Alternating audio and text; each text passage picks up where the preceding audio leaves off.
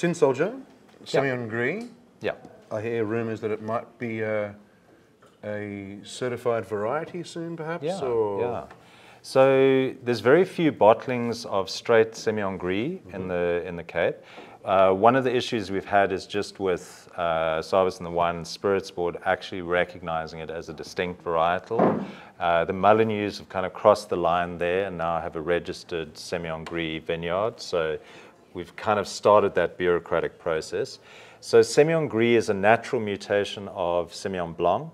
So it's pink skinned rather than you know, than, than black skinned. So it do, this what the color that you're seeing in the glass here is, you know, this is a little bit of skin contact, but we're really not getting a huge amount of color out of the wine. So it's it's very it's from blush to sort of pink rose skinned. Okay. Um, and there's just not an awful lot of it left in the Western Cape. So this vineyard, this is we're going to taste two Semillons now. This is the daughter vineyard. So the cuttings for this vineyard come from the older vineyard, which we'll taste next. Uh, so this is 100% Semillon Gris on granite soils in the Paardeberg. The oldest part of this vineyard is about nine years old now. Uh, and yeah, the, the wine itself has seen quite a lot of evolution uh, since we first made this in 2013.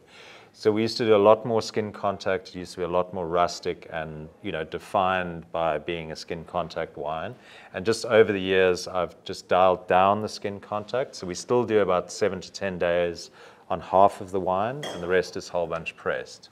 So we've got a very delicate texture, some nice color from that. But I think this is a very good space because you know we've got this lovely citrus expression of the wine, and then that sort of textural element from the from the skin contact. Ten years ago, there was far fewer skin contact wines Yeah. uh, being made in South Africa. What what wines were sort of in, inspirations to you to create this wine? Yeah, I, d- I think definitely in Europe there was a there was a big. Uh, it was very very fashionable. Um, so I think when we started it, I think there was an you know an element of you know running with the fashion a little bit. Uh, I'd never. I think someone asked me earlier. You know, when we first made these wines, I'd never made wines in these style in my life. So you know, really, in 13, you know, really pushing the boat out and trying new things.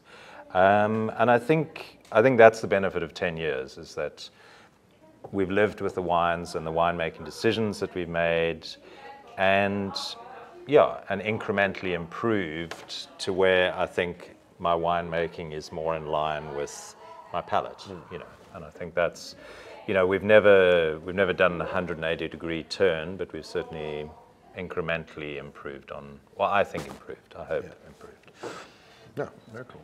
Yeah. And I mean, what what what are you trying to extract from with the skin contact? What what why, why are you getting only half it? What's the upper section? Why are you doing all Yeah, of it? Is it, is it is it too textural? Is it too? I think if you go too much on the skin contact, the um, the skin extraction can sit on the wine and make it quite dumb and rustic for a lot, a lot of time.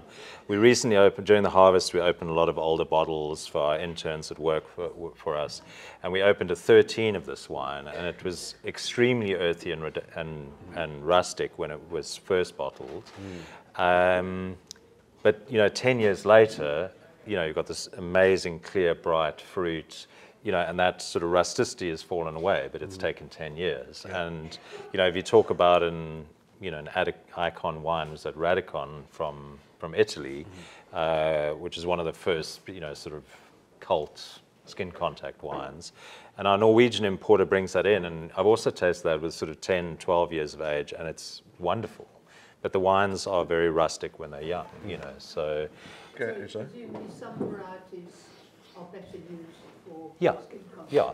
And I think, like with Semillon, no, I s when I say I hadn't made skin contact whites before starting this, I had dabbled, you know, at my previous jobs and all that. And I found Chenin and Chardonnay have quite a neutral tannin that doesn't, for me, doesn't really improve the wine. You know mm-hmm. what I mean? They're quite sort of blocky, neutral tannins. Whereas, like, I've worked with Clairette and Semillon with skin contact, and they've got very soft, fine, powdery tannins. So, yeah, I think as far as white varietals that I've worked with for skin contact, Semillon for me is one of the ones that has a, a, a lovely tannin mm. structure. And especially as it ripens, I think Semillon stays very green in the skins and can be very hard. Yep. And then one of the tipping points on ripeness is when that, that skin tannin s- softens. Like when you're chewing the grapes, you can taste that softness Yeah, right, okay. develop. Yeah. Well, it's a crazy wine. I mean, it's so complex. It has Yeah. complexity in obviously aromatics and flavors, but also in textures. Yeah. Which is Yeah. uh, super interesting. I mean, everything from sort of like ginger and spice to almost like a like an amaro type of you know uh, herbal edge to it, and some citrus. Yeah. And the cheese rind and a bit of salty, you know, cheese rind Yeah, action. Parmesan rind. Yeah. Beautiful. Yeah, yeah. Yeah, yeah. Um, it's it, it, it, seems less fruit driven than previous vintages. Yeah. It's much more savoury. Yeah. Would you Yeah, obviously yeah. agree with that? No, no, I think that's that's quite a positive for me. Was you know working in restaurants in the UK, I worked with some Italians, and they had a big appreciation for things that were not ostensibly sweet. You know what I mean? And I, I think especially on the table, I do like these kind of wines. and that's one of the things I like about Semillon, especially this old clonal material. It doesn't have bags of upfront fruit that's Yeah, yeah. easy to access. It mm-hmm. almost needs to be on the table to work with other things, you know, mm-hmm. to uh, to bring out those sort of fruit flavors. And you know, for me, wine does sit on the table. You know, it's an appetite stimulant. It's supposed to clean and stimulate your palate, mm-hmm. y- your digestion, and all that sort of thing. You know, without being too medicinal about it. Yes. But you know, I think sometimes we've lost that appreciation. In, you know, I think a lot of commercial wines chase a lot of sweetness mm-hmm. you know, along with a lot of other commercial drinks. You know, a friend of mine was trying to make a health drink based around blueberry leaves, but he says you don't understand how much sugar is generally in soft drinks, and if you're not at that level, people are like, oh, it doesn't taste very good. Yeah. You know, so I think, Tastes yeah, a bit bitter. And, yeah, yeah, yeah. So you know, but I, I think that's been part of my aesthetic and my palate is I like wines that are not ostensibly fruity or sweet. You know, and I think Semillon fits that that mold. Also, very like sort of gastronomically relevant Yeah, wines. So yeah. they, they work with food and different types of food. Yeah, yeah. I mean, for me, this this wine and sort of oily fish is a is a really Yeah, great. yeah, uh, yeah. We were match. I mean, it- it is a very flexible wine in terms of because it is.